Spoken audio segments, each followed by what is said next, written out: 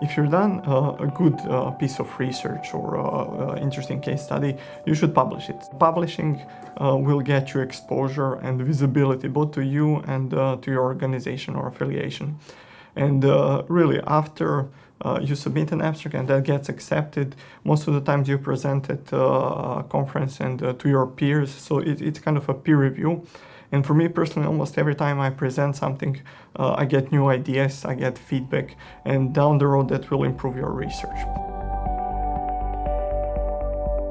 If you have, again, good material, it's much easier to put an abstract around it than put an abstract just to submit or uh, to attend the conference.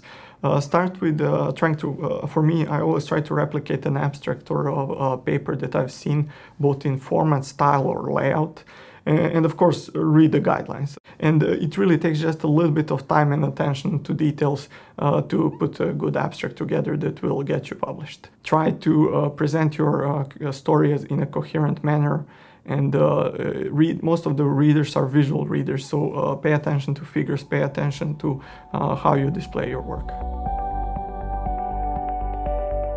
these days most of the exploration and academia work is done by a team of people uh, those are integrated teams of geoscientists, and if uh, work is done by a team, it should uh, be presented as such.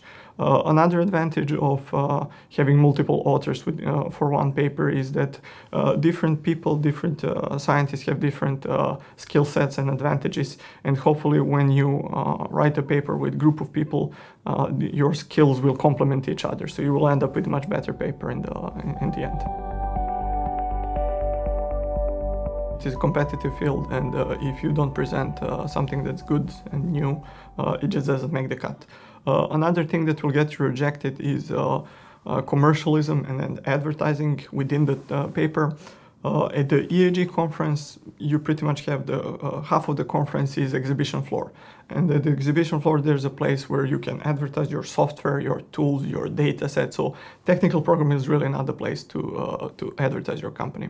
Uh, there are other things that will not get rejected automatically, but are uh, viewed negatively by uh, reviewers. poor presentation, very poor grammar, um, lazy writing, repeating uh, things and things of that nature. Plagiarism, as we define it, is when you're repeating stuff that you already presented or somebody else has presented, and uh, when you're using somebody else's work and not citing it. So uh, plagiarism is uh, very negatively scored by the reviewers. Uh, I think there's an automatic three-year ban on both you and your co-authors. And uh, you should also be aware that uh, using your own work that you presented at a recent conference or you've already published with another journal, uh, that's really recycling and sometimes too much recycling is not good.